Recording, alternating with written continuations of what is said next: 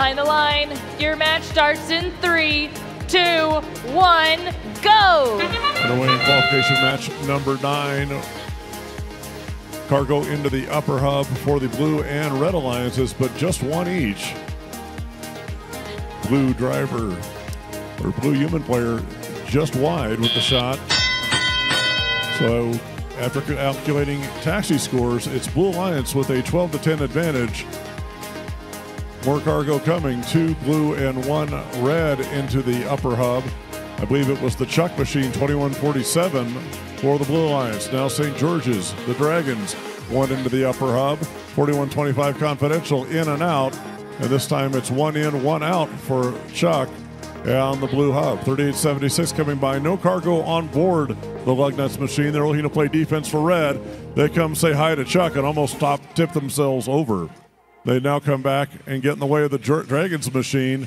And again, a little bit tipsy is the Lugnut machine. 6831, meanwhile, has two pieces of cargo on board. The A5 Annex lines up, one up and in to the upper hub, second one in also, but they're matched immediately by Chuck, 2147, with two in for the Blue Lines. 4125 Confidential. Now, we talked about the rookies, 8532, and the naming convention for Basket Bot. Confidential's machine is Sir Pleximilian Cloudwell the First.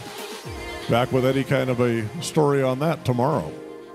It's three blue cargo into the upper hub. Make that 4 5 into the upper hub, and blue is running away 40 to 20.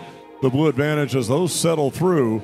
16 cargoes scored by blue. They need four more, but those two from St. George's were in and out, no good. So still four cargo needed for the Blue Alliance as we come down towards our end game. Red shot in and out. Looks like we may have lost our rookies. 85 32 off to the side. Four cargo in the air, two score high, one scores low. Blue Alliance needs one more once that cycles through. Nobody in a hangar zone for either alliance. 1595 lining up to get that cargo bonus. It went into the went in and out of the lower hub, but their alliance partner on the far side, I believe that was confidential, got two in for the Blue Alliance, and they earned that ranking point. 68-31 in with a late climb for the Red Alliance is A5 Annex. 1595 St. George's Dragons side by side on the mid rung with 2147 Chuck is